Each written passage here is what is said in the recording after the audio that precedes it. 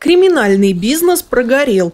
Ивановец, промышлявший похищением с автомобилей государственных регистрационных номеров, предстал перед судом. В марте прошлого года 26-летний ранее судимый житель областного центра скрутил госномера с четырех автомобилей, припаркованных во дворах Ленинского района. А под щетками стеклоочистителей оставил записки для владельцев авто с номером своего телефона и предложением вернуть пропажу за выкуп. Звонка автовладельцев злоумышленник так и не дождался. Зато к нему нагрянули полицейские, которые вычислили вычислили великого конспиратора по номеру телефона.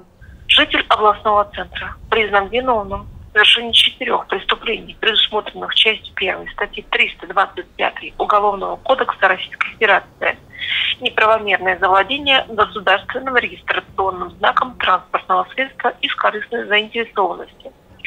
И с учетом наличия в его действиях рецидива осужден на срок 9 месяцев лишения свободы с отбыванием наказания в колонии строгого режима. Подсудимый взят под стражу в зале суда.